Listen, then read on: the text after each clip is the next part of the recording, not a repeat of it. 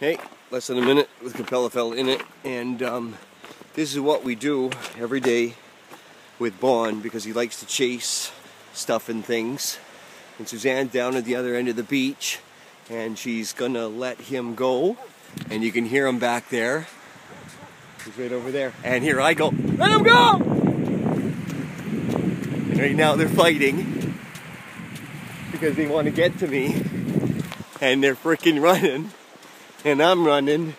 And he's coming. You can see him back there. Here he comes. Ah! Ah! And since we started giving Goose aspirin, he can catch it now. Ah! Hey, Goose! Hi, Boyka! Hey, less than a minute, Kampelafella and the Dane's in it. Thanks for stopping by.